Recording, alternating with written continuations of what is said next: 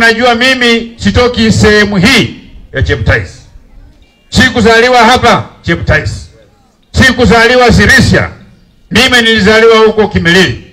Watu wa Cheptais, wakati ikifika kule mbele, msijaribu kunipakua ati kwa sababu sikuzaliwa huku.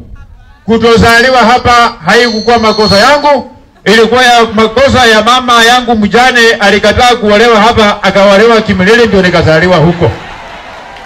Kwa hivyo wakati nilikuwa nazaliwa sikukuwa nimeulizwa, sikukuwa na nafasi. I had no opportunity to tell my mother where to get married. Mimi silikuwa sijazaliwa, silikuwa sijaumbwa na Mwenyezi Mungu. Kwa hivyo nyinyi wa mama, mkiniona mjue mimi ni kijana yenu, munifunge kwa mgongo na leso, mtembee na mimi, na mimi sitawawacha, nitatembea na nyinyi. Vile mmeona hawa wanafunzi wa university wakifurahi nikifika hapa, wamefurahi kwa sababu I am their role model. Where I have reached, they will even surpass where I have reached. I am their role model because I was where they are today many years ago.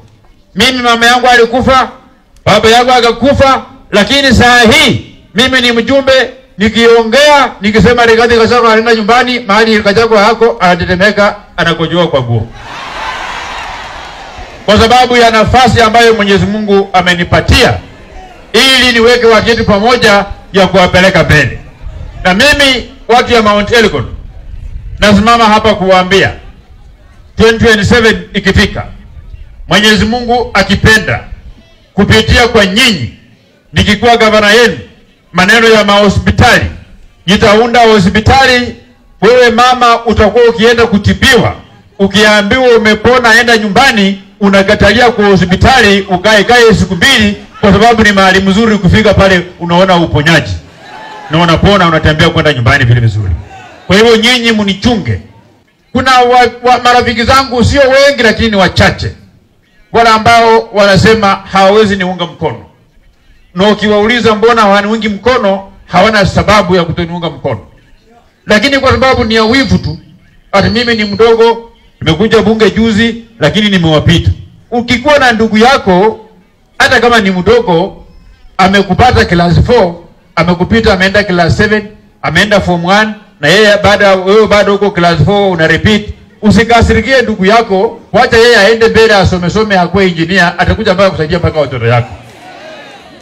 Kwa nguvu za Mwenyezi Mungu, kwa nguvu za Yesu Kristo na kwa nguvu za wananchi, hawa Mount ni wakiwemo hao mahali wako wale maherode wachache, I want to tell them, wakijaribu kuangamiza ndoto yangu ya kuwa gavana ya Bungoma, kwa nguvu ya wananchi na ya Mwenyezi Mungu, nitapita juu yao. Kama watakuwa wanaume, watafika nyumbani, mama zao waulize, mzee, umekanyaga na trela ya viazi ama trela ya miwa ya barabara? Nyinyi mkiona watu ya Mount Elgon, gavana Ken Lusaka akienda nyumbani Nyinyi mkipima vizuri hii kiti ya gavana, mimi naweza ama siwezi? Mtaniunga mkono ili tuende mbele? Sasa mimi ndio ile maziwa ya asubuhi. Umesikia ati maziwa ya jioni hiyo, wezi andika tikiti ati maziwa ya jioni because ndama imekunywa huko malishoni.